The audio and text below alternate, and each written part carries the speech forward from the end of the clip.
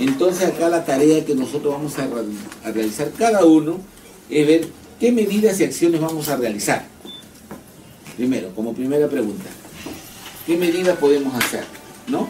En el momento del sismo, bueno, como un ejemplo, les digo que nosotros tenemos que primero ver las zonas seguras donde tenemos que desplazarnos, ¿no? Que cuando se trata de esto es de acuerdo a las a la posición en que se encuentra cada uno. Supongamos el jefe de todo el, sistema, o sea, lo que tiene que hacer es activar, El, el, sistema, activar la unidad Mientras que el resto, por ejemplo, dice, no, yo lo que tengo que hacer es colocarme en un sitio seguro para poder ayudar. Ah. El, brigadista dirá, pues yo empiezo a, llevar, a ayudar a la gente. Así cada uno en, donde, en la posición que se encuentre. Claro, al final todo suma. Examinar el estado físico, mantener la calma, activar el sistema de gestión de riesgo. Vamos al, segundo momento. ¿Ya? Y dice, un segundo momento. Usted sabe que el servicio de emergencia ese día estaba con sobredemanda y al bajar se encontró que allí no entra nadie más. Toma conocimiento a través de información proporcionada por el responsable del espacio de monitoreo de emergencias y de desastres. El IGP ha informado lo siguiente, fecha 15.8.17, hora local 10, magnitud 8.5 grados, referencia 77 kilómetros 0 de Ancón, Lima, latitud menos 12.99, longitud menos 76.85, profundidad 40, intensidad 7.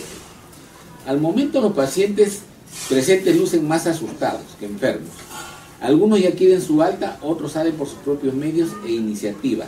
Otra réplica, o sea, hay otro movimiento. Y usted, el usted y el resto del equipo saben que el daño en la ciudad debe haber sido grande y que va a llegar numerosas personas y víctimas demandando atención y pidiendo ayuda. Tiene conocimiento de que hay personal de salud herido.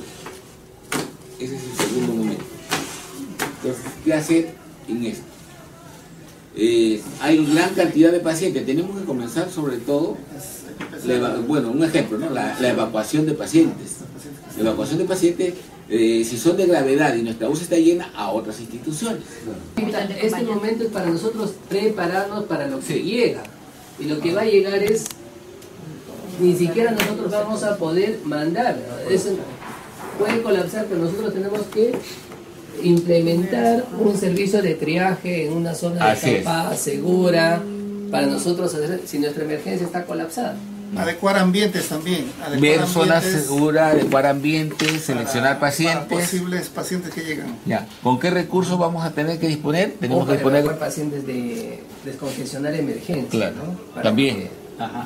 Ahí tenemos que sacar pacientes de los que no están. Pero nosotros tenemos que hacer solamente en nuestra institución. ¿Qué ah, vamos a hacer? No pensar en mandar a No, todavía eso no. Porque no sabemos cómo están las carreras, la, la, pista, todo, no recursos que vamos a disponer del médico, de la enfermera, de los técnicos, administrativos, todos van a tener que participar. Personal. Activa el COE con el jefe de la, del grupo de trabajo de, la gestión de riesgo. emergencia, la dirección. Todos los que están integrando. Esas son las coordinaciones.